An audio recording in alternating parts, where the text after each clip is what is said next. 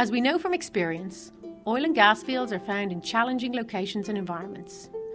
The Corrib gas field was discovered in 1996 by Enterprise Energy Ireland. It was bought by Shell in 2002. The harsh Atlantic Ocean location, 83 kilometres out to sea, made production at an offshore platform technically and environmentally more difficult and much less safe for workers. Instead, when it comes on stream, the Corrib gas will be piped directly to an inland gas terminal at Bellanaboy Bridge, about 9 kilometres from the shoreline. Welcome to the Corrib Gas Terminal at Bellanaboy, County Mayo. This is now the biggest construction site in Ireland and there are over 900 workers here at present. While national governments may welcome these fields for economic gain and energy security, local communities may feel the impact in different ways.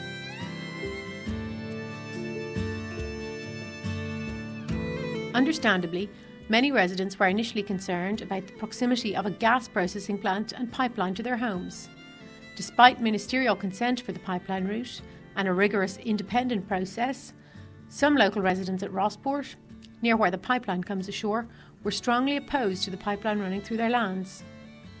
In 2005, matters came to a head when five residents were jailed for defying a court order. Shell subsequently applied to the High Court to have the injunction lifted and the men were released.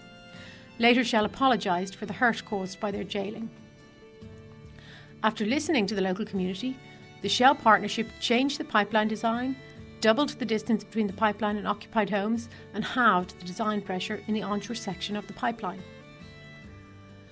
Local fishermen have raised concerns about treated water leaving the terminal and flowing into the bay where they fish. Although the Shell partnership had already committed to cleaning the water to the standard of drinking water, they agreed to move the outflow pipe to 83 kilometres offshore at an additional cost of several million euro. First of all, the uh, wastewater discharge will be treated to unusually high levels and it's intended that those will comply with the environmental quality standards in Ireland. And that's most unusual uh, because usually contaminants are discharged at much higher levels. Thereafter, uh, Shell have made the decision to take the discharge, the treated discharge, into waters quite a long way from shore. And the, the effect of that is to increase dilution and dispersion.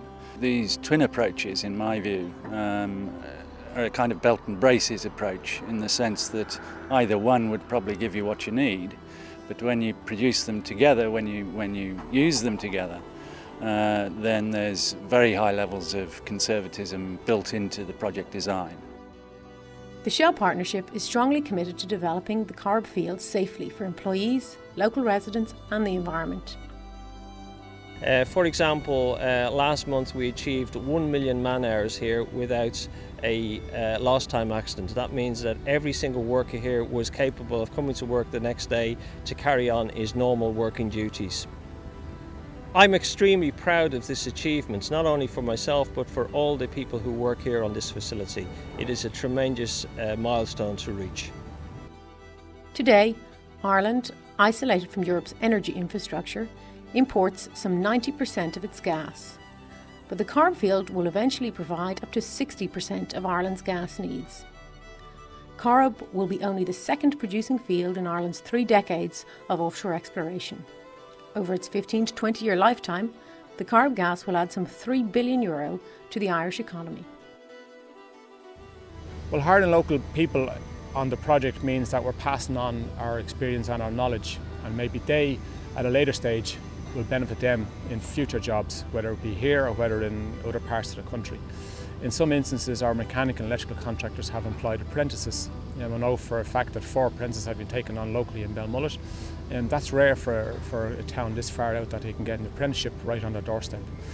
The other part of local contractors is our scaffolding contractor, Hertel, has taken on 15 or 20 local labour and he's trained them up they've all gone through their first phase of training. So they're getting to become scaffolders after this. So they can walk away from this job with a scaffolding certificate, which is, is a great boost for someone who hadn't got that level of training.